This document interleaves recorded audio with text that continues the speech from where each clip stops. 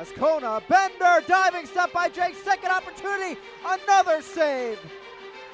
Already having to show why he was the goalkeeper of the year.